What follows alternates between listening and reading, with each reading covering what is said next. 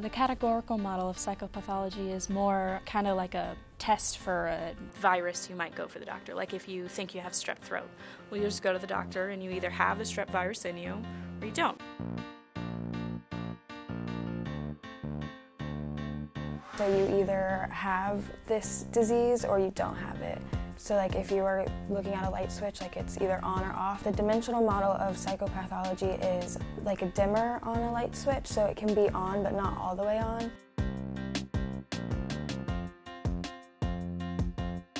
So, the dimensional model of psychopathology is basically acknowledging that in at least most of the major mental illnesses, kind of all of humanity has a little bit of all of them. So it's, you know, at what point on this 1 to 10 scale does it become unhealthy and at what point does it become a disorder? Because obviously everyone experiences things like depression. At what point does that really become a problem to where you say, actually, no, this is a depressive episode? And at what point does that depressive episode need treatment?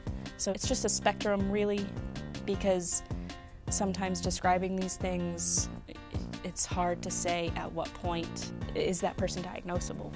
Some pros of the categorical model would be just so that you know for sure that if you have this disease or this condition, so that if you're going to treat it, that you can treat it full force. So you either have it or you don't. The pros for the categorical model is definitiveness, and you're able to give a yes or no response, which is very helpful to get a diagnosis.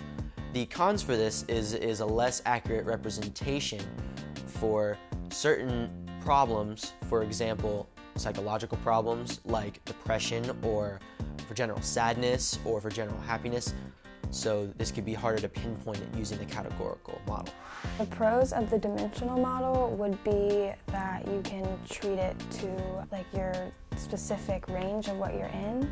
So like if you have a lower like anxiety rate or depression level, they can give you like different kind of medications and maybe just skills. A con to the dimensional model is that there's no 100% definitiveness with your answer, with the diagnosis. So this could be an issue when implementing different treatment plans.